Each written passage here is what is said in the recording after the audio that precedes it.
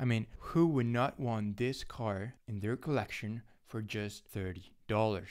Hello everyone, welcome to the channel. This is Barrett from Barrett Collector. Today we're going to take a look at what I think are the top 5 best cards from the Scarlet and Violet era that could be a potential good investment for the future.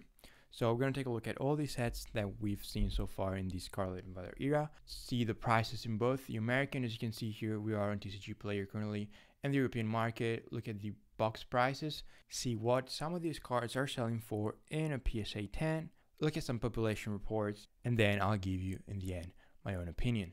So let's get started with Scarlet and Violet base. As you can see here, we are on TCG Player and we sorted by best selling. So what I think is the main chase card in this set is the Gardevoir EX. Now, Gardevoir is played, so that could bring the price of the card itself higher. However, I don't think the Miriam might do well long term, or at least my personal opinion, I'm not a big fan of waifu cards. I do prefer Pokemon themselves. And if I take a look at the list of what this set has to offer, the only good card that I see in terms of artwork, and I mean, there's plenty of good cards, but what really amazes me is the artwork in this Great Tusk EX. Just an SIR that just looks simply amazing. I look at the colors here, just gorgeous in my opinion. And I mean, for just below six dollars, doesn't seem like a bad buy either way. I'm just if you just enjoy the car, you could just get it for for cheap.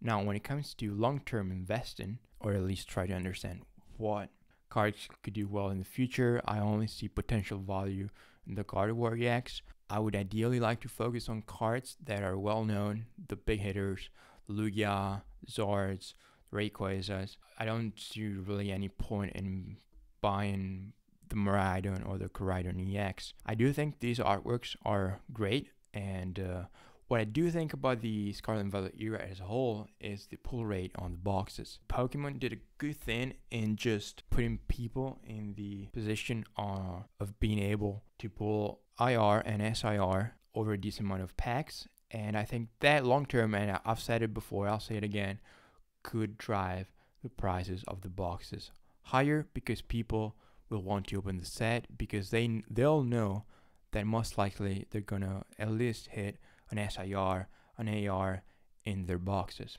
So I have to be honest, base set is, in my opinion, the weakest set that we've seen so far for the Scarlet Violet era. So I'll, I just won't spend too much time on it.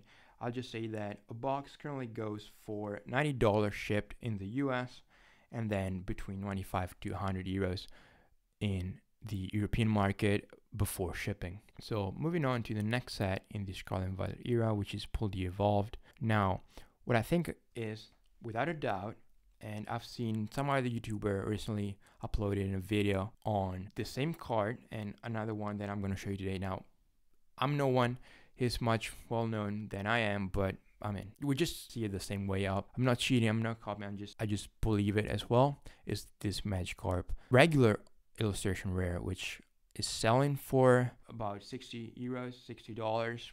I really there's not really much of a big difference when it comes to single cards, raw cards between the European and the American market. At least for modern cards, it's it's a bit different when, when it comes to, to vintage.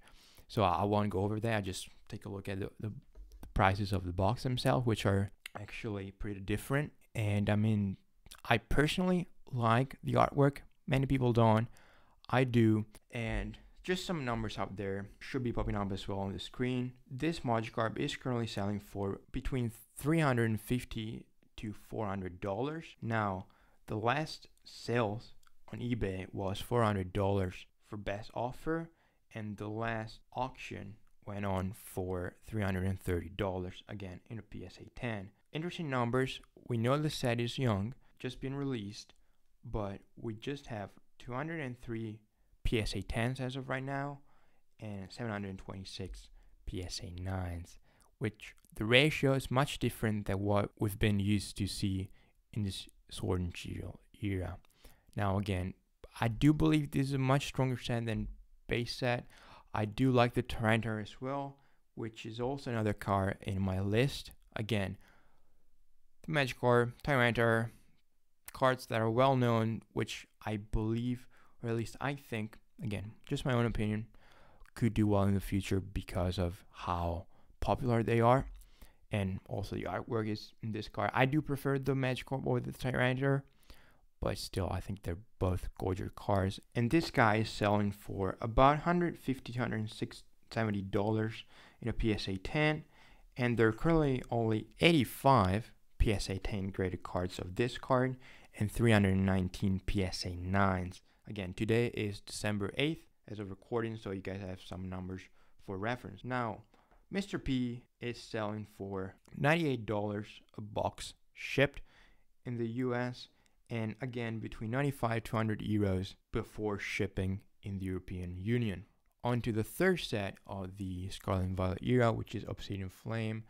Now, as many people said it, I'm sure they'll keep saying it. I can only agree. This is mainly a Charizard set. There's not really much more to it. Yes, you do have some cards that are, in my opinion, good looking and cheap.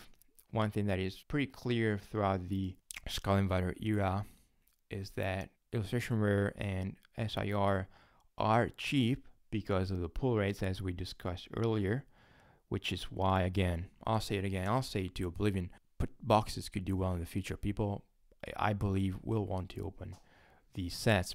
So now the only thing that is interesting about this Charizard EX, which is also on my list, is what it goes for in a PSA 10. As you can see here, it does go around 60 70 dollars raw and it sells for 300 350 dollars in a PSA 10 the last one went for auction at 335 dollars and here we have a much higher number of PSA graded cards despite the fact that this set is younger than Paldea Evolved we have a 1143 PSA 10s graded copy and then 2504 PSA 9. And this is actually almost a 50% relationship between 9s 10s whereas if we take the Magikarp for instance or the Tyranitar as well it came down to a bit below of a 30% PSA 10 ratios with the 9s. And a sealed box of Obsidian Flame goes for $105 shipped in the US and again between 95 to 100 euros plus shipping in the European Union.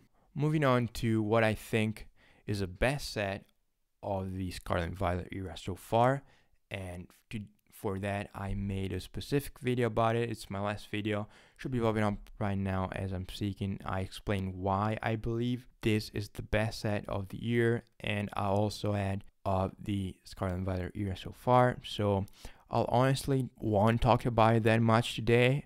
I just simply believe that basically every card in here is a big hitter and whatever car you're gonna pull out of a pack, you're most likely going to be satisfied. And when it comes to sealed product prices, again, you can check out my previous video as there's not really as I go over it in depth, but just notice that a sealed display goes for around $440 in the US, whereas it's really hard to come by in the European market. And the only one I found was on eBay for 500 euros, free shipping in Italy. Now, last but not least, we have Paradox Rift, which I just picked up a box recently for cheap, at least what is considered cheap in the European Union. And this is an interesting set what I'm mainly concerned is how well this Roaring Moon EX will do in the future because the fact that it's now played in the meta obviously drives the price higher than what it might actually be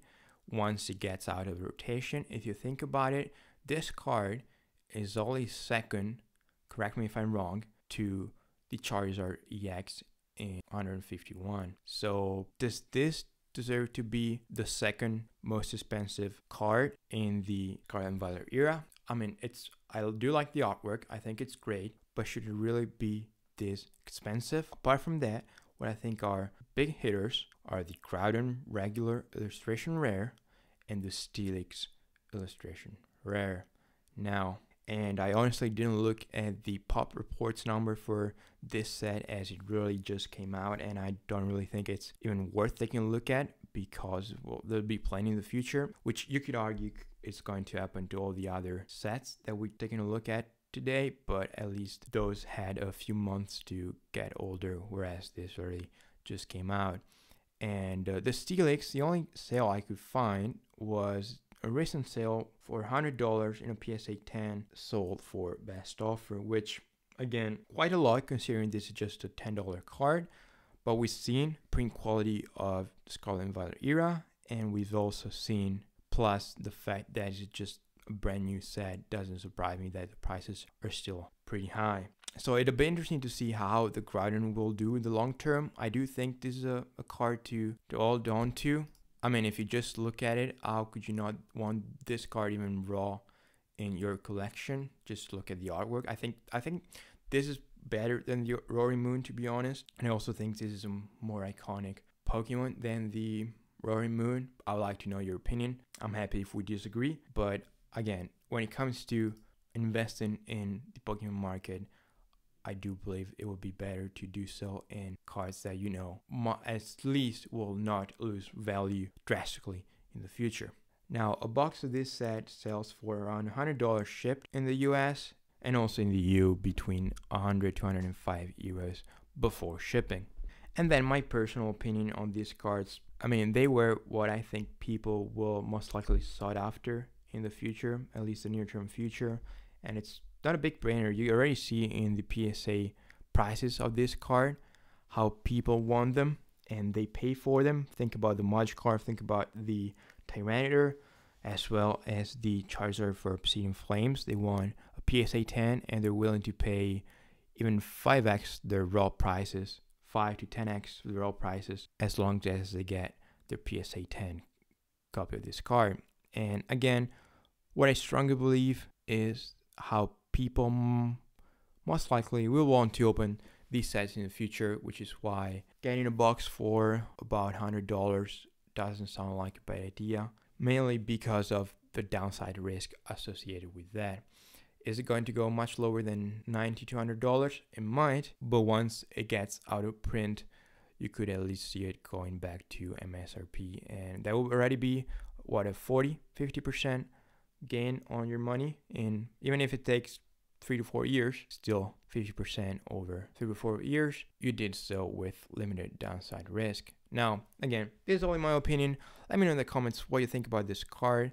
Let me know what you think about the Scarlet and Violet era as a whole. If you do enjoy the content, don't forget to subscribe if you don't want to miss any update I bring to the channel. Please consider leaving a like if you enjoyed the video, and I'll see you in the next one.